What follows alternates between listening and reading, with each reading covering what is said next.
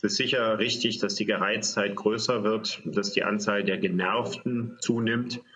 Aber es ist auch immer wieder wichtig zu betonen, dass in Deutschland jedenfalls ungefähr 85 Prozent der Bevölkerung hinter den gegenwärtigen Corona-Maßnahmen stehen und dass es in Deutschland mehr Leute gibt, denen die Corona-Maßnahmen nicht weit genug gehen, als dass es Leute gibt, die gegen die Corona-Maßnahmen protestieren oder rebellieren. Das klingt gut, das ist eine große Mehrheit. Wahrnehmen tut man zurzeit mehr die anderen, die, die sich auflehnen dagegen, weil die halt auch auffallen. Kann es sein, dass diese Gruppe irgendwann größer wird und möglicherweise die Gruppe der, sag mal, Vernünftigen, der, die, die es akzeptieren, über, übertreffen wird? Das glaube ich nicht. Also ich glaube, dass der, das Potenzial für Menschen, die dem Staat alle erdenklichen Sauereien zutrauen, die der öffentlichen Meinungen vollständig misstrauen, dass das unter 20 Prozent liegt. Und ich glaube nicht, äh, selbst wenn sich die Corona-Situation noch einige Monate so hinziehen sollte, wie sie gegenwärtig ist, dass das jemals eine Mehrheit wird. Trotzdem habe ich den Eindruck, dass auch, und ich würde mich jetzt dazu zählen, nicht, ich akzeptiere die Maßnahmen, ich verstehe, dass wir das machen müssen, um Rücksicht zu nehmen und so weiter. Aber auch bei mir selber stellt sich so eine gewisse Lachsheit ein. Manchmal plötzlich zieht man die Maske aus, weil man es doch doof findet, auf Distanz zu sitzen, sein Gesicht zu verdecken und so weiter. Und das stelle ich auch fest bei immer mehr Menschen. Kann es sein, dass wir irgendwann ein bisschen Corona-müde werden auch? Ich empfinde ehrlich gesagt genau das Gegenteil. Also ich hatte das am Anfang auch bei mir selber, dass ich einen äh, ziemlich wirren Umgang mit der Corona-Maske gepflegt habe, weil ich einfach nicht dran gewöhnt war. Also dass man immer wieder vergessen hat und dass man rausgegangen ist und dass man dachte, ach Mensch, jetzt habe ich ja vergessen, eine Maske mitzunehmen. Und dass es jetzt eigentlich so ist, dass man trainiert darin ist, dass man seine Maske routiniert aufzieht, wenn man in einen Laden geht. Oder in Düsseldorf muss man ja in der Innenstadt eine Maske tragen. Und äh, ich bin auch in Spanien gewesen im Sommer, da war das genauso, da musste man ebenfalls eine Maske tragen. Und ich denke, dass man sich daran sehr gut gewöhnen kann. Ich habe eher den Eindruck, dass die Maske Normalität geworden ist, als dass die Leute zu lax damit umgehen. Und etwas Neues ist ja auch, dass plötzlich der Staat unglaublich viel vorschreibt, der Staat uns äh, Maßnahmen, sage ich mal, aufzwingt und Sie haben es gesagt, 85 Prozent das verstehen und auch gehorchen. Ähm, sind wir in einer Zeit der neuen Staatsgläubigkeit gelandet? Nein. Also ich freue mich darüber zu sehen, dass 85 Prozent der Bevölkerung gute Staatsbürger sind. Denn was der Staat uns hier aufnötigt, ist ja nicht etwas, was er aus bösen Absichten tut, sondern es geht darum, dass wir, jeder für uns, uns Maßnahmen unterziehen im Sinne des Gemeinwohls.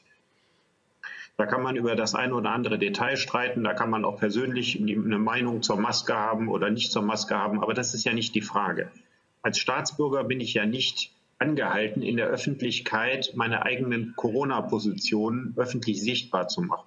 Das heißt also, wir dürfen in Deutschland und in der Schweiz über Corona denken, was wir wollen, aber als Staatsbürger haben wir halbwegs zu funktionieren. Das, ich bringe gerne das Beispiel, wenn Sie nachts mit dem Auto fahren und da ist eine rote Ampel.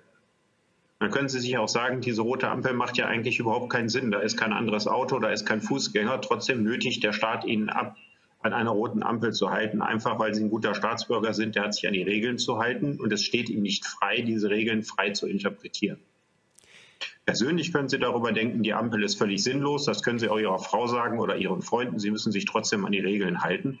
Und es ist erschreckend, dass wir etwa 15 Prozent der Bevölkerung haben, die das immer noch nicht verstanden haben. Letztlich wird das durch die Praxis entschieden.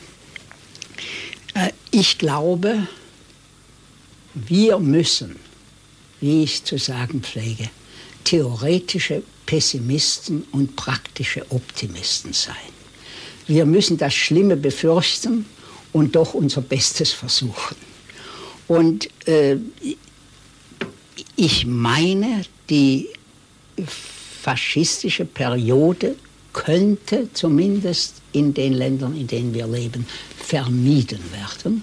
Das bedeutet aber nicht, dass nicht immer eine mehr und mehr alles umfassende Regelung eintritt. Das ist wohl einfach schon aufgrund der Bevölkerungsvermehrung, schon aufgrund der dadurch notwendigen Entfaltung der Technik mit der Zeit eine Notwendigkeit. Die Menschen werden lernen, im, in ihrem Leben wesentlich auf Zeichen zu reagieren. Als Symbol pflege ich da einfach an den Übergang über die Straße zu erinnern. Früher ging man über die Straße und hat rechts und links geschaut, hat sich überlegt, kann ich jetzt noch hinüber und hat dann die Entscheidung getroffen. Heute wartet man auf das grüne Licht und wenn das rote Licht kommt, bleibt man stehen. Und das wird wenigstens im Allgemeinen, es gibt natürlich auch hier immer Ausnahmen, aber das könnte so weit sich entwickeln, dass derartige Reaktionen in die Substanz des Menschen übergehen und dass er gewissermaßen ohne Überlegung einfach glatt bei Rot stehen bleibt. Also eine rationale Verhaltensweise, die ihn aber in gewisser Weise dann zum Instinkt geworden, der tierischen Reaktionsweise näher bringt.